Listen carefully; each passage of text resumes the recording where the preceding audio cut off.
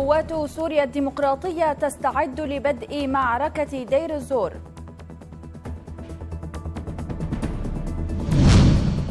تعزيزات عسكرية تمهيدا لاقتحام قضاء الحويجة آخر معاقل داعش بالعراق. الإعصار إرما يسبب دمارا كلفته عشرة مليارات دولار وتحذيرات لسكان فلوريدا مع اقترابه. أهلا بكم مشاهدينا إلى نشرة أخبار اليوم. قال مسؤول بقوات سوريا الديمقراطية إن القوات ستعلن بدء عملية ضد داعش في شمال محافظة دير الزور. وأضاف المسؤول أن العملية تهدف إلى دفع داعش إلى التقهقر من الأجزاء الشمالية من دير الزور. وتوجهت أرتال من مجلس دير الزور العسكري المنضوي تحت لواء قوات سوريا الديمقراطية إلى نقاط الاشتباكات جنوب مدينة الشداد وعلى جبهة الخرافي التي من المحتمل أن تنطلق منها معارك التحرير إلى دير الزور وريفها. قال الخبير في الجماعات المتشددة ماهر فرغلي في لقاء مع أخبار الآن إن معركة دير الزور ستكون معركة حيوية لداعش بسبب وجود ما يعرف باللجنة المفوضة للتنظيم داخل المدينة والتي تعنى بإدارة شؤون الأماكن التي يحتلها.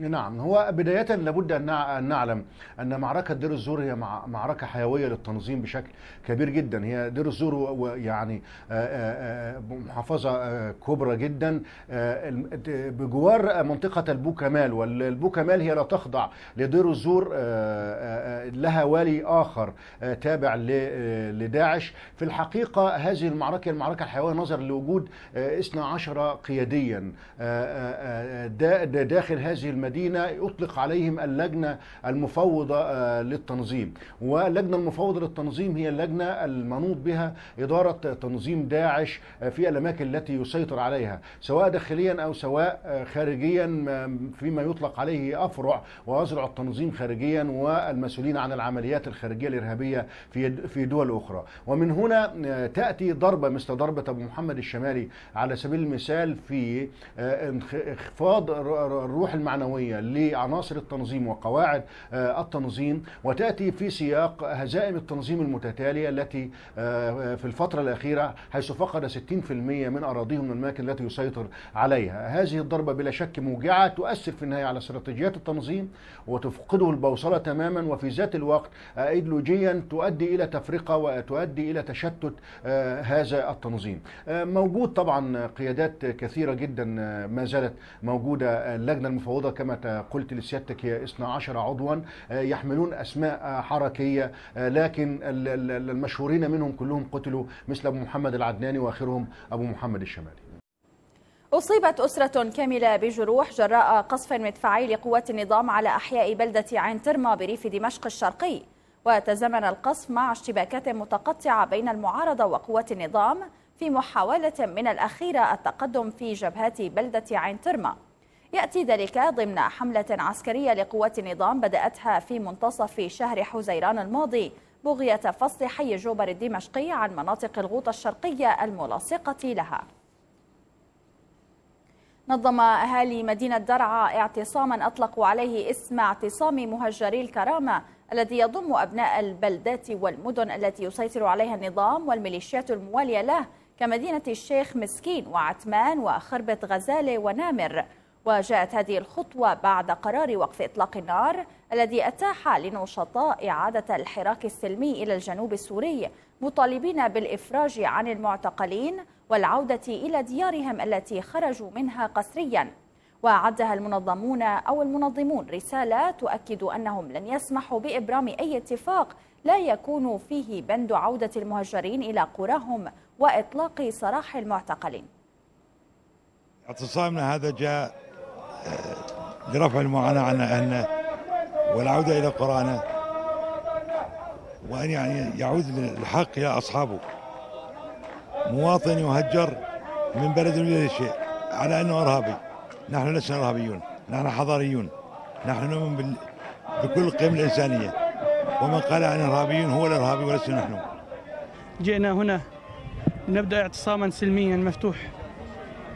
مفاده أو نرسل رسالة من خلاله إلى العالم أجمع وإلى المفاوضين على وجه العموم وإلى من يفاوض باسمنا على وجه الخصوص. أن هنا نطالب بمطالب حق شرعتها لنا الأعراف والقوانين الإلهية والوضعية. نقول أن من حقنا العودة إلى بيوتنا ومن حقنا أن نطالب بالإفراج عن المعتقلين. ليس هناك حقوق أسمى من هذه الحقوق وليس هناك مطالب أسمى نحن هنا اعتصامنا مفتوح سلمي مدني. لا يتبع لأي جهة أخرى لا يتبع لأي جهة عسكرية أو سياسية. هي هو اعتصام سلمي. ناتج عن حراك شعبي لهذه القرى التي هجرت قسرا منذ سنين خلت. نحتاج إلى العودة إلى بيوتنا. نريد العودة وهو مطلب أساسي. ونريد الإفراج عن المعتقلين كافة. نقوم بتأمين مكان المعتصمين من أي أي خروق آه، ونقوم بتفتيش المارة إلى إلى الداخل مشان تأمين المكان من يكون ما يكون مع أي واحد أي سلاح أو أي شيء وتأمينه من ناحية الطعام من ناحية الجميع من جميع النواحي وسهل تسكير جميع المداخل. وقال منسق اعتصام مهجري الكرامة عمار العمور إن المشاركة القوية من المؤسسات جاءت بعد التوقيع على عريضة تؤكد على ثوابت الثورة السورية وإسقاط النظام بكافة رموزه والإفراج عن المعتقلين وعودة المهجرين إلى قراهم. آه، نحن نكون بهذا العمل وبهذه المشاركة الكبيرة من هذه المؤسسات والفعاليات. آه، وبعد التوقيع على عريضة كنا قد أعددناها آه، والتي تؤكد على ثوابت الثورة السورية بوحدة أراضيها وإسقاط النظام الحاكم بكافة رموزه. والإفراج عن المعتقلين وعودة المهجرين إلى قراهم. آه، طبعا المهجرين في الداخل والخارج. نحن نتكلم عن المهجرين ليس مهجري حوران. نحن نتكلم عن جميع المهجرين. مهجري حمص وريفها آه، نتكلم عن مهجري ريف دمشق ريف الغربي والشرقي. جميع مهجري سوريا. آه، ونكون بهذا قد أسمعنا صوتنا إلى العالم أجمع. وأعدنا الثورة سيرتها الأولى ورونقها الثوري الجميل. بهذا الحراك الثوري السلمي. وبعد التطمينات والتعهدات من قبل هذه المؤسسات الثورية آه، نحن في اليوم الرابع قد أنهينا هذه المرحلة من من الاعتصام. خرج أهالي مدينة دوما في الغوطة الشرقية بمظاهرة حاشدة للمطالبة بتنفيذ الاتفاق الموقع مع النظام بضمانة روسية والقاضي بكسر الحصار وإدخال المواد الغذائية. مؤكدين أن تلك البنود لم يتم تنفيذها وما زال القصف مستمرا كما طالب المتظاهرون بمحاكمة رئيس النظام بشار الأسد وإخراج جبهة النصرة من الغوطة. المظاهرة اليوم للفت الأنظار أن الغوطة الشرقية ما زالت محاصرة وأن هذا النظام لم يفي بعهوده ولا الضامن الروسي بفك الحصار عن الغوطة الشرقية. وطالبنا أيضا اليوم بتجديد المطالبة بإخراج جبهة النصرة وطالبنا الإخوة في قيادة فيلق الرحمن وحملناهم مسؤولية وجود ما تبقى من فلول النصرة وما ستؤول إليه الغوطة. هاي جبهة النصرة تنظيم قاعدة ونحن ضد القاعدة في كل سوريا ونحن قاعدة هون عندنا تنظيم قاعدة جبهة النصرة بالاسم لحتى تدمر الغوطة. قاعدة ذريعة هون. لا إذا طلعت جبهة النصرة عنا من الغوطة ما عندهم حجة يدمروا الغوطة. نحن اليوم طلعنا مظاهرة في مدينة دوما بمحاكمة بشار الأسد المجرم الذي ضربنا بالكيماوي وضربنا بالصواريخ وضربنا بجميع الأنواع السلاح لا خلى طيران ولا خلى شيء.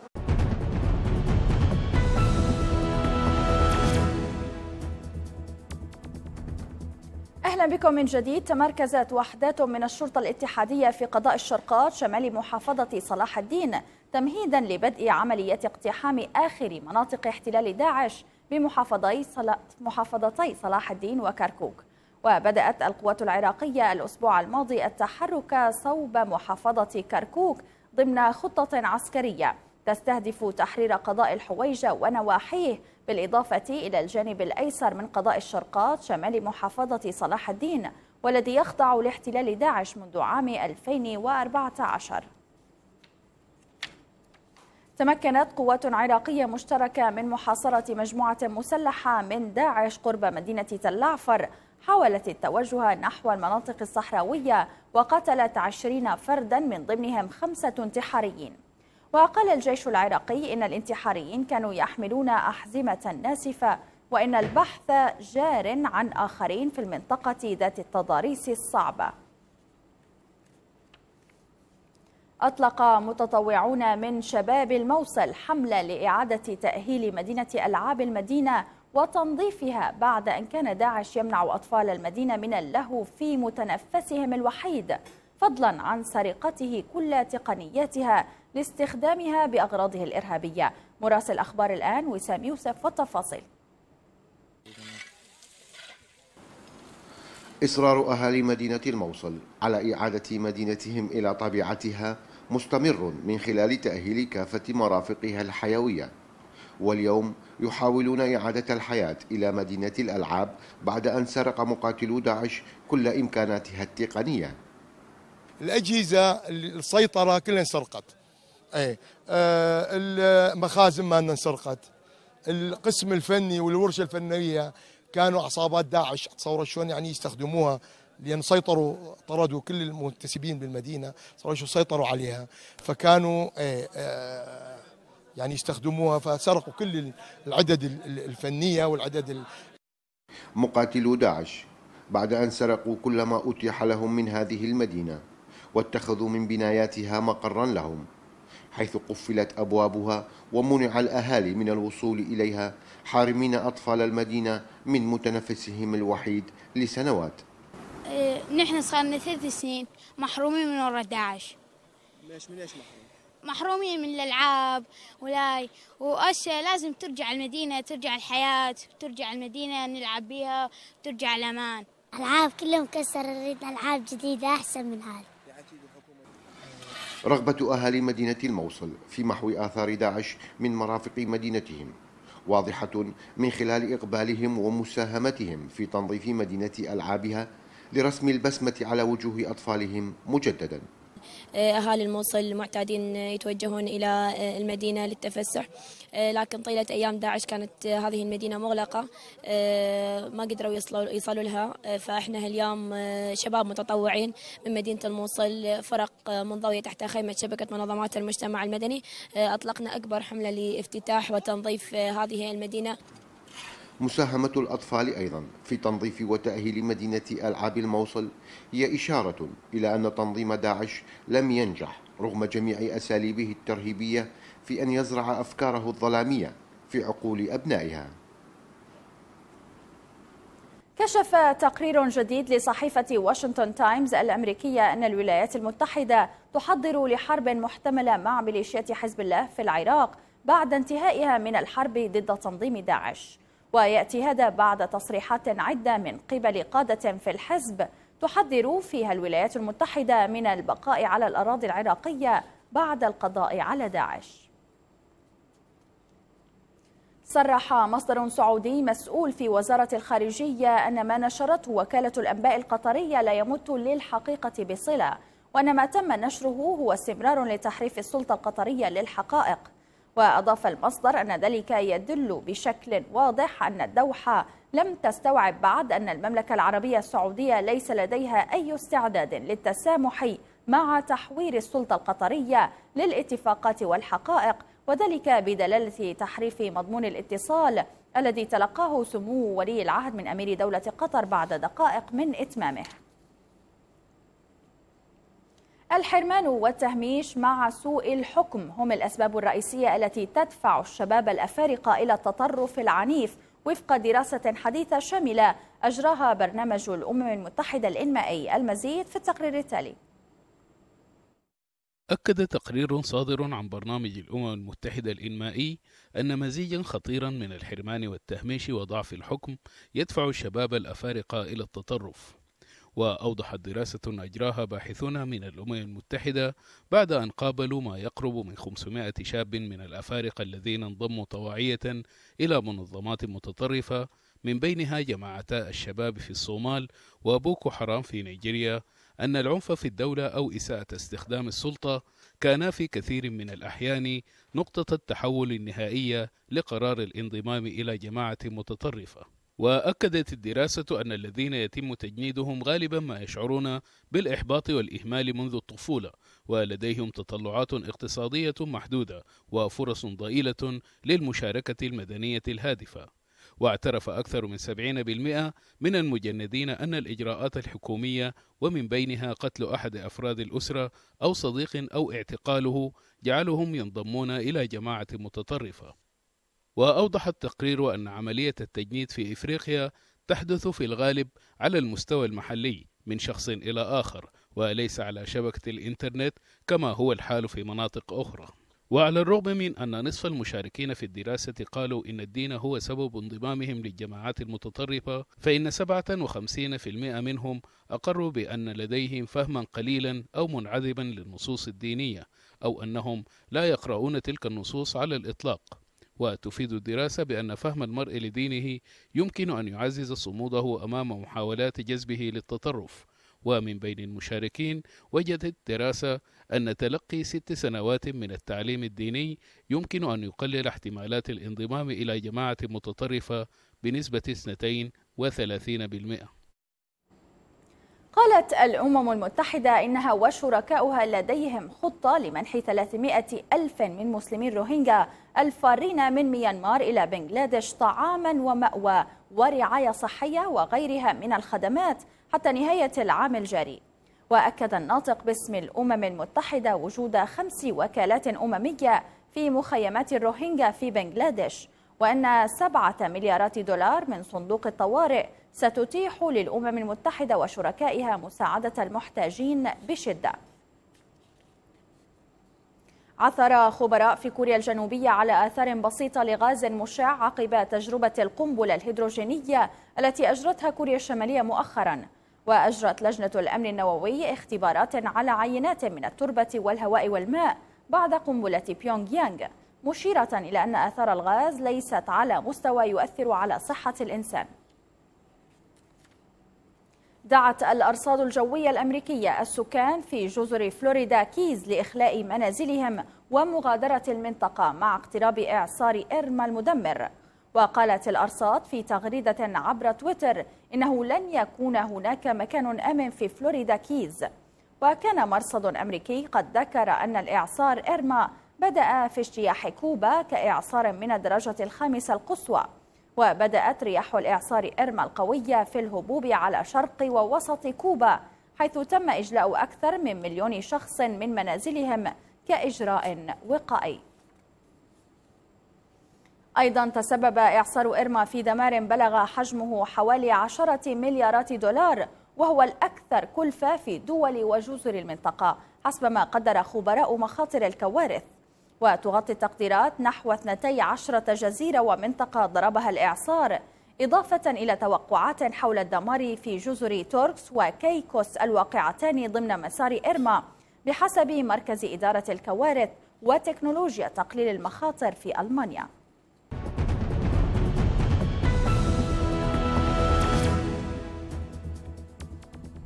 أهلا بكم من جديد والآن إلى جولة الصحافة.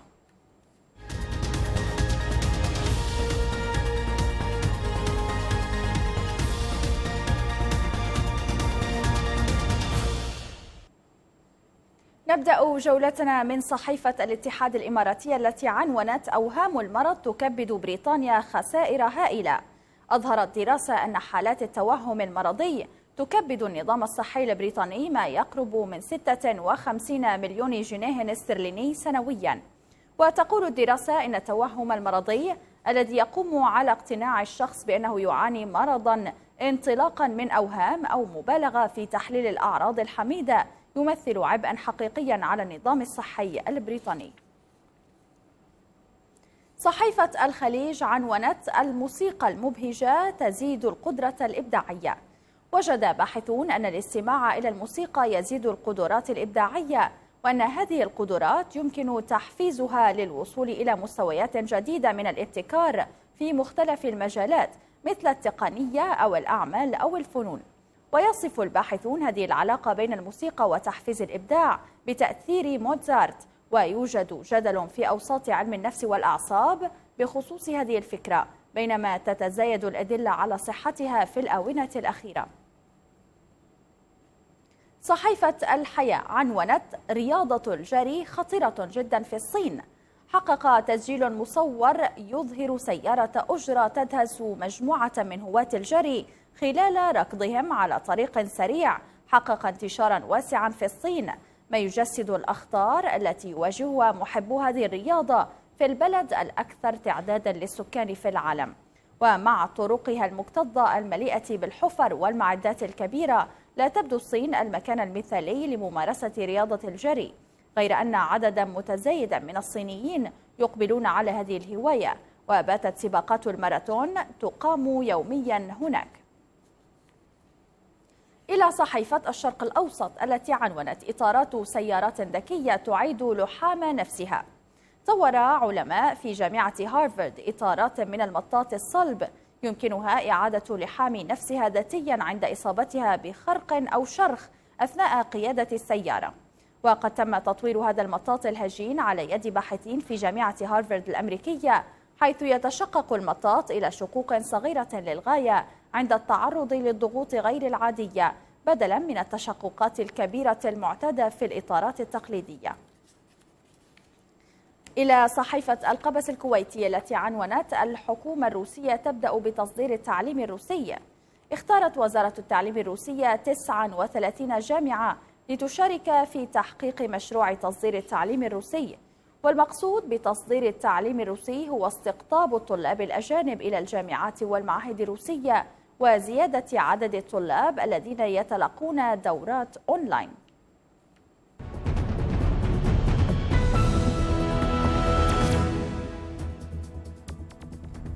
دخلت وزيرة الدولة الإماراتية لشؤون الشباب شم المزروعي في كتاب جنس كأصغر وزيرة في العالم حسب ما نقلت صحف إماراتية عن موسوعة الأرقام القياسية.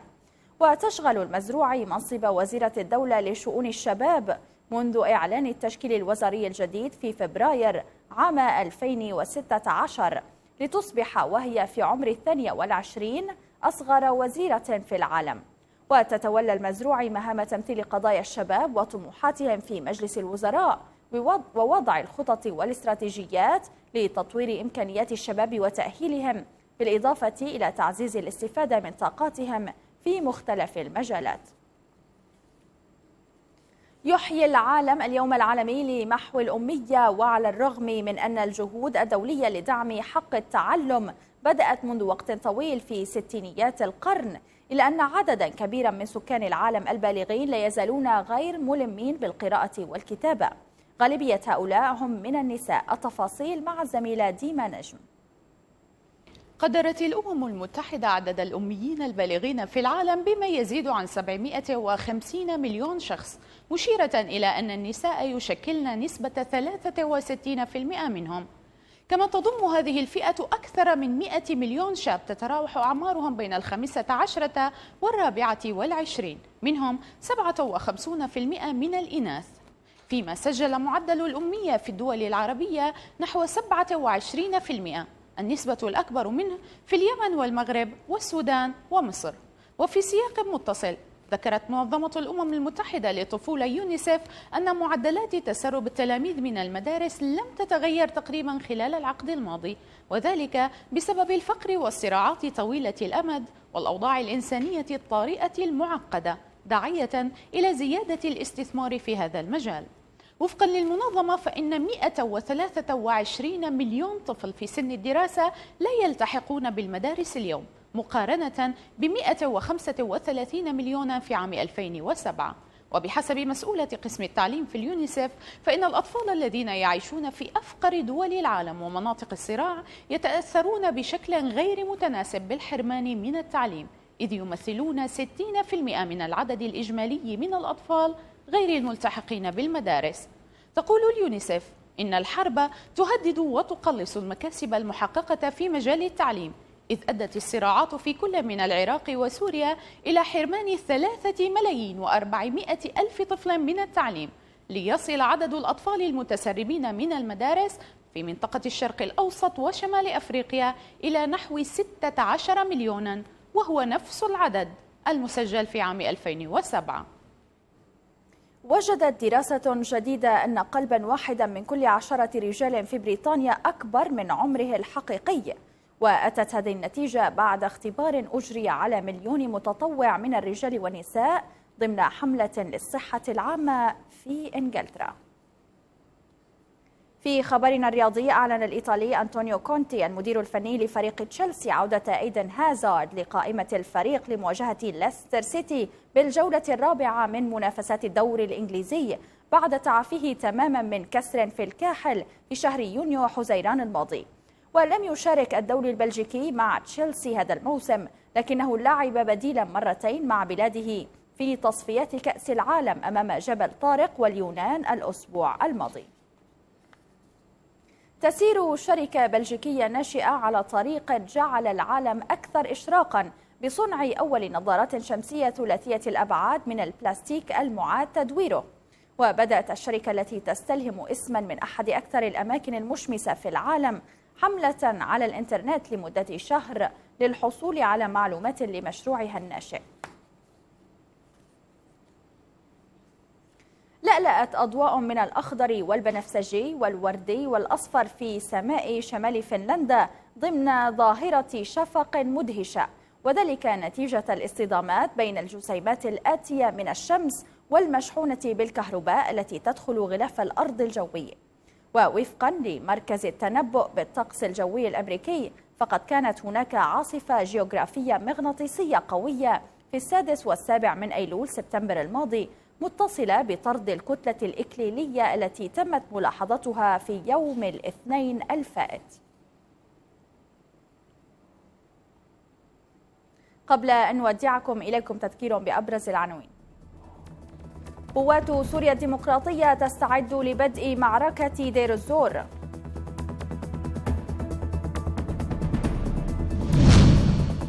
تعزيزات عسكرية تمهيدا لاقتحام قضاء الحويجة آخر معاقل داعش بالعراق. الإعصار إرما يسبب دمارا كلفته عشرة مليارات دولار وتحذيرات لسكان فلوريدا مع اقترابه. وصلنا إلى الختام للمزيد يمكنكم دائما مشاهدينا متابعتنا على موقعنا الإلكتروني. كما يمكنكم التواصل معنا عبر مواقع فيسبوك وتويتر ويمكنكم أيضا مشاهدة بثنا المباشر في الموقع ذاته.